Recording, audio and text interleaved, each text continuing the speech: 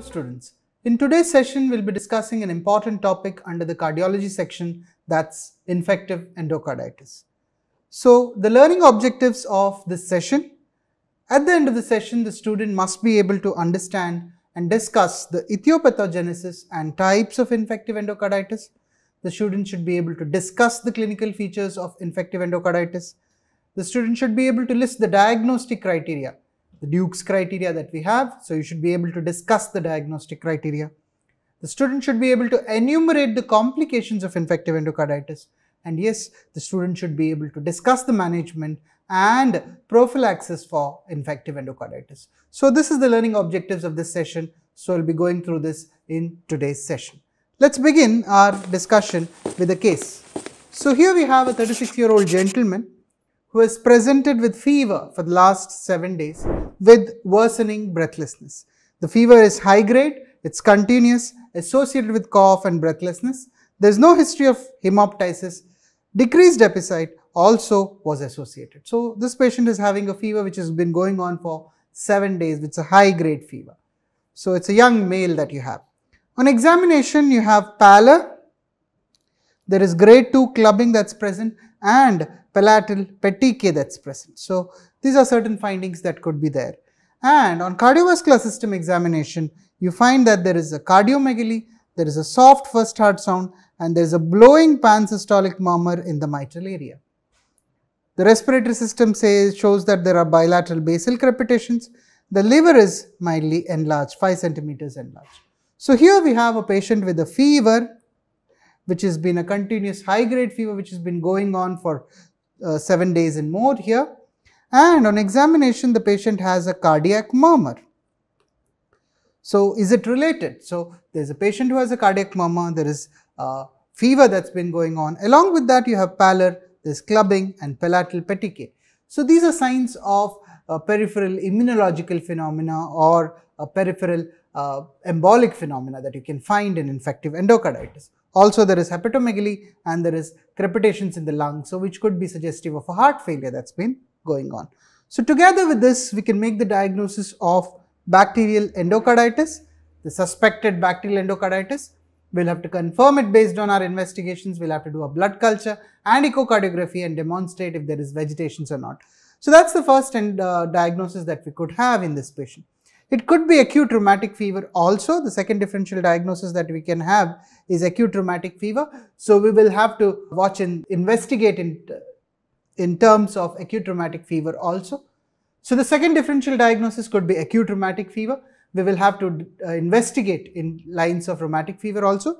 But if you see uh, grade 2 clubbing, the palatal petechiae is unlikely with acute rheumatic fever. We do not get this. These are more in, seen in case of infective endocarditis. So, these are the two things that we will have to think of and we will have to investigate and manage. So, in the investigation, the two important investigation is the blood culture sensitivity that we have to do and the echocardiography. So, these are the two investigations which will help us in arriving at a diagnosis of infective endocarditis.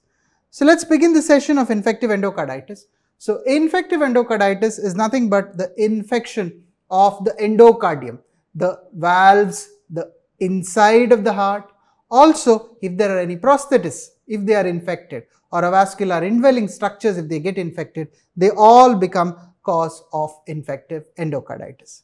So, by definition, infective endocarditis is endovascular infection of the cardiovascular structures by microbes. So, it could be the heart valves most often, it could be the atrial or ventricular endocardium, it could be large intrathoracic vessels or it could be intracardiac foreign bodies could be a pacemaker that's there, could be a surgical conduits, it could be prosthetic valves. So, if they get infected, intracardiac subs, they are called as infective endocarditis. So, it is the endovascular infection which is caused by micro. So, what happens as a pathogenesis of infective endocarditis? So, remember the valve may be normal or the valve may be damaged. Damaged valves are more prone to get infected.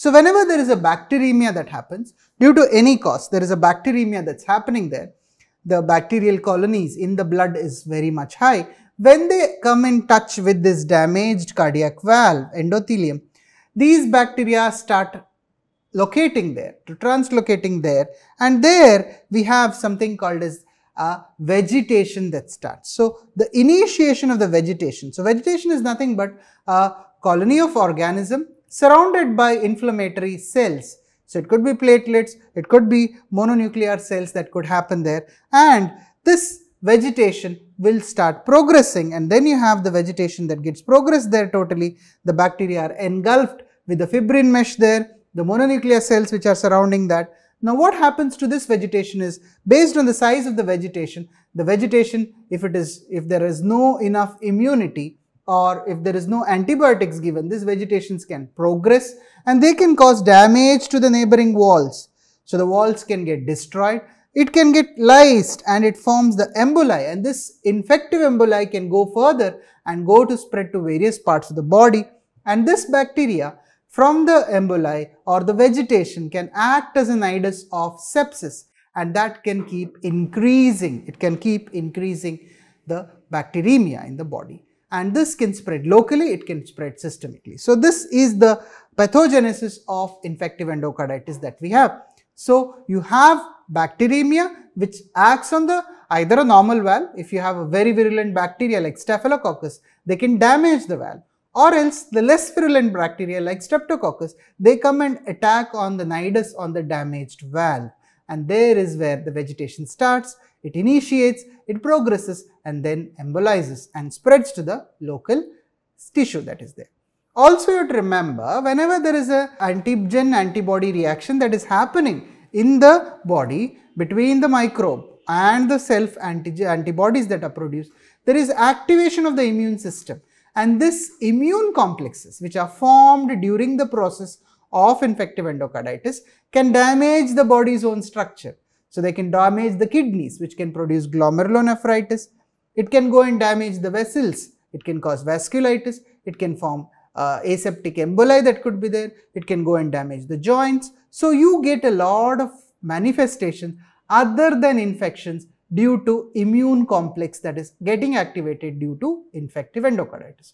So, this is the pathogenesis of infective endocarditis. Coming to the classification of infective endocarditis, the basic classification is based on the clinical course. We call it as acute bacterial endocarditis when it is less than 4 weeks subacute bacterial endocarditis when it goes to 4 to 8 weeks of the course and chronic is anything more than 2 months we call it as a chronic endocarditis. Based on the organism it could be bacterial endocarditis, it could be viral like Coxsackie, rickettsial, Coxiella can cause, fungal like Candida can produce endocarditis. Next is based on the type of the valve that is getting involved. So, it could be a left sided endocarditis, it could be a prosthetic valve endocarditis, it could be a right-sided endocarditis which is commonly seen with the IV drug abusers.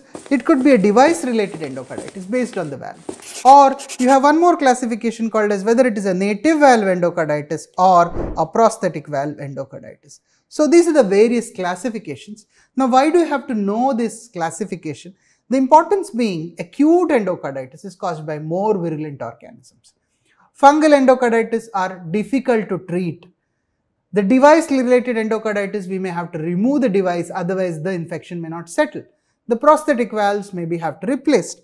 Also, right-sided endocarditis, which involves the tricuspid valve, etc., are more likely to be in IV drug abuses. So, based on the type of the endocarditis, the organism may be different, the management also varies. So, that is why we have to know the classification of endocarditis. Coming on to the risk factors. So, what is the risk factors associated with endocarditis? Most important is the underlying heart disease.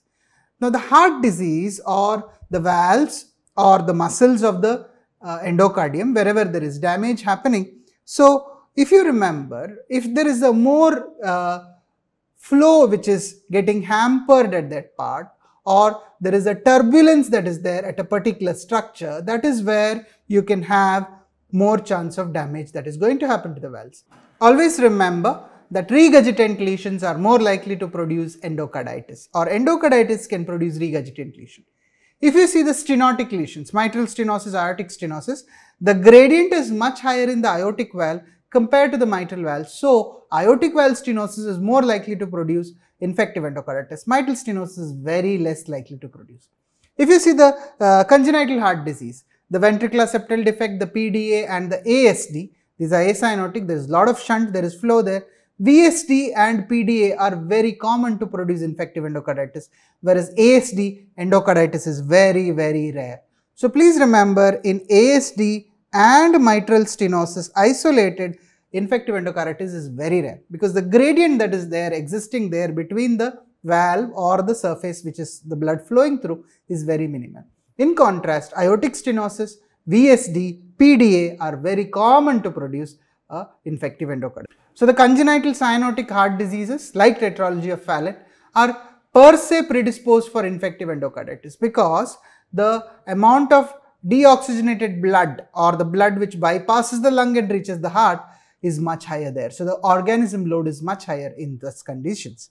Also, if you say the percentage of infective endocarditis, mitral valve is most commonly because that's the first sieve that could happen from the left side, mitral regurgitation I mean, aortic stenosis, aortic regurgitation, rare to have tricuspid valve. Whenever we have a prosthetic valve that's there, it is an nidus that can have infection. So, if you have a prosthetic valve or if there is a intracardiac uh, pacemaker and the leads, they can get infected. Other important factor that you have to consider is the impaired host defense mechanism. So, supposedly the patient is immunocompromised, diabetes, leukemias, lymphomas, cytotoxic chemotherapy, neutropenia, they are more likely to get infected. Also, there should be bacteremia. So, from where does this bacteremia come?